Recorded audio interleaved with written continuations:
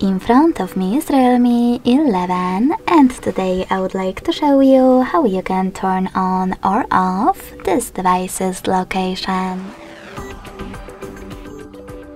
Start by opening tab menu and looking for location shortcut.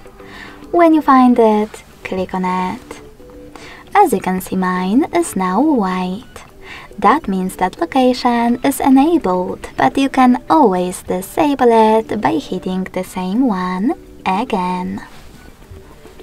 You can also go into settings, scroll down and click on location section. Then tap on this switcher next to location services to disable or enable them.